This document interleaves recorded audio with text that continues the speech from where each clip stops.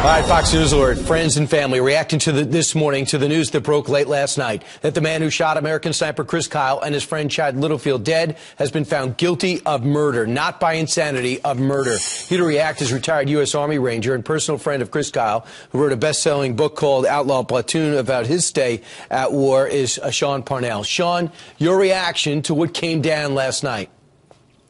Well, honestly, uh, I was just I was just relieved and grateful that after two years after Chris and Chad passed from this earth, that a guilty verdict uh, was found, and I, I, I just hope and I pray that that that the families get some peace and resolution from this uh, because they've been dealing and carrying this very heavy burden of the loss of their loved ones and this trial for two years now, and, and it's not gotten any easier for them. Sean, you know, something else is they kept saying, well, he had PTSD, uh, and that's what happens when you go to war. They're starting to, a lot of people on other less educated channels are starting to blame war for this and PTSD for the violence. What's the reality as you know it?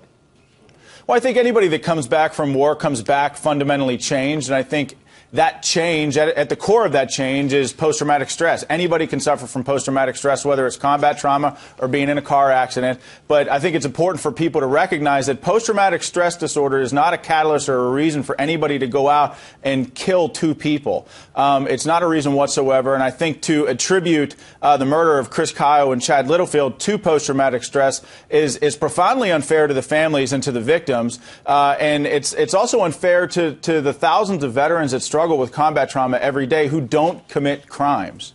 Absolutely. So, as you look at what's happened with this trial, you also find out, in looking into Routh's background, that his mom knew he was dangerous to himself and to others. He was diagnosed that way, and the Dallas VA stuck him out into the wilderness in two days with a bucket, with a basket full of, of meds. What's your reaction to that?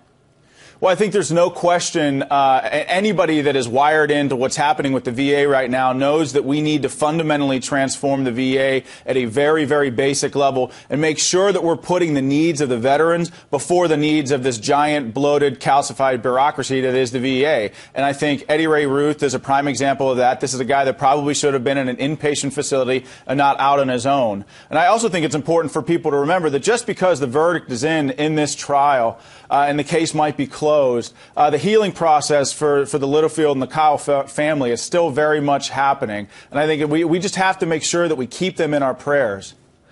And the good news is uh, it's out there the, on the big screen. $300 million it's made at the box office already. You and Chris were on the tour together. You talking about your book, him talking about his book. What is your reaction to the public's reaction to the success of American Sniper?